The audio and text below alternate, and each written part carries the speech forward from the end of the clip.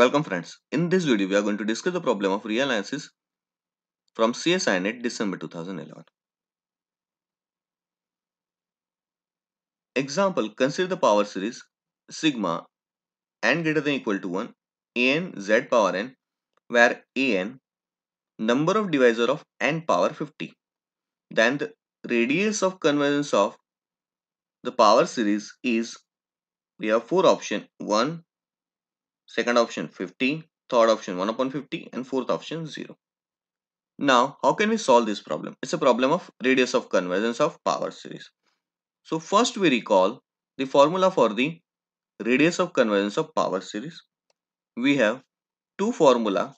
First formula is r equal to limit n tends to infinity an divided by an plus 1 and the second formula limit n tends to infinity 1 upon an power 1 upon. Now in both the series we required an. Now what is an for the given example?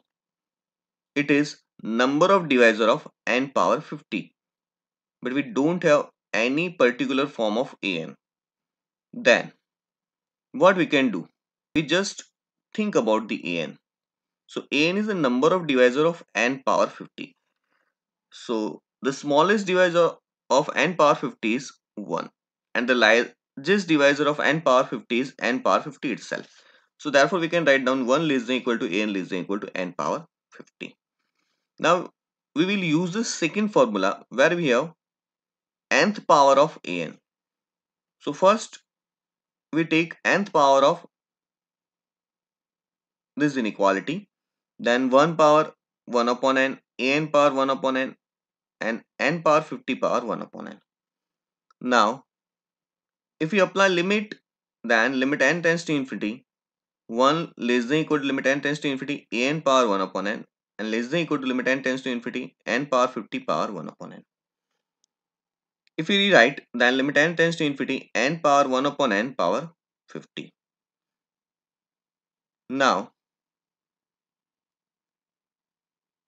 limit n tends to infinity n power 1 upon n whole power 50. Now value of this limit is 1.